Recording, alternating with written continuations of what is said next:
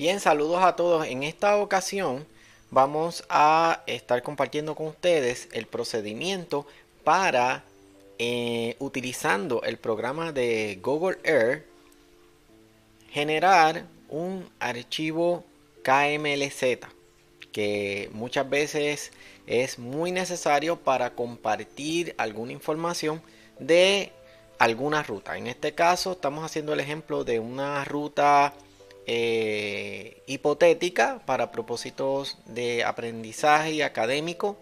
Así que yo voy a hacer un ejercicio a manera de ejemplo, breve, pero finalmente pues vamos a lograr el objetivo que es generar un archivo KMLZ que este será luego pues compartido, ¿verdad? Lo podemos compartir con otras personas.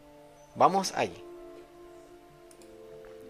Nos encontramos en el entorno de Google Air. Google Air pues tiene muchos beneficios. Me encuentro, voy a hacer un ejemplo aquí en la isla de Puerto Rico. Vamos y seleccionamos eh, agregar una ruta.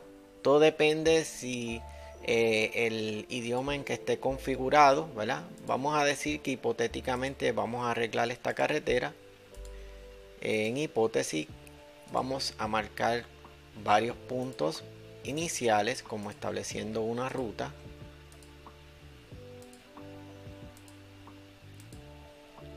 Vamos a decir que vamos a cambiar el trayecto un poco en esta zona lo cual no necesariamente tiene que ser. Esto recuerden que es un ejemplo.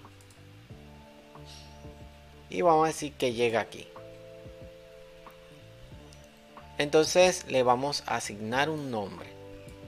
Vamos a decir ruta ejemplo, porque esto es un ejemplo. ¿Verdad? Es para que tengamos una idea de cómo es que se hace el proceso. Una vez ya tenemos nuestra ruta ejemplo, fíjese que nos va a aparecer en el listado de opciones. Entonces, aparece aquí como descrita como ruta ejemplo. Hacemos un clic del botón de la derecha en el ratón y le decimos guardar como. Ruta ejemplo la quiero guardar como KMZ. Fíjese que tengo varios formatos, KML y KMZ. Pues en este caso nosotros vamos a utilizar KMZ porque tiene las elevaciones.